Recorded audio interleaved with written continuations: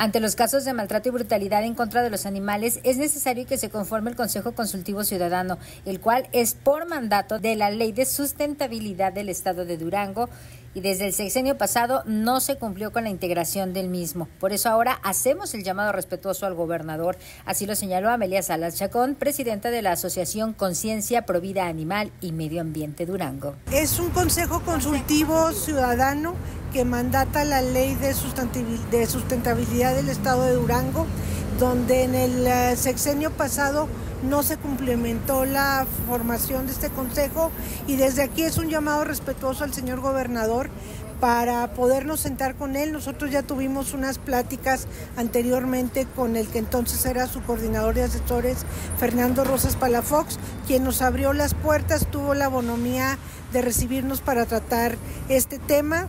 Eh, estamos también apoyados y hemos buscado al ingeniero Mojica para que también él como Consejo Ciudadano nos apoye a ver si logramos que en este gobierno pues se haga no lo que nosotros queremos, sino lo que mandata la ley. Creemos que es importante porque lo volvemos a repetir todo el tema de maltrato animal en la mayoría de los casos termina habiendo un maltrato a seres humanos.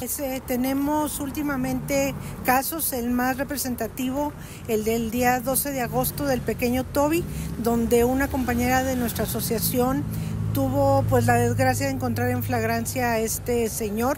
Nosotros estamos esperando que haya una sentencia condenatoria, puesto que esta persona en este tema eh, ya tenía detenciones por parte de Fiscalía por violencia intrafamiliar. Entonces es un llamamiento a la autoridad. Aquí tenemos que hacer sinergia, gobiernos y sociedad. Nosotros hemos hecho y hacemos nuestra parte, ahora falta que la autoridad haga la parte que le corresponde.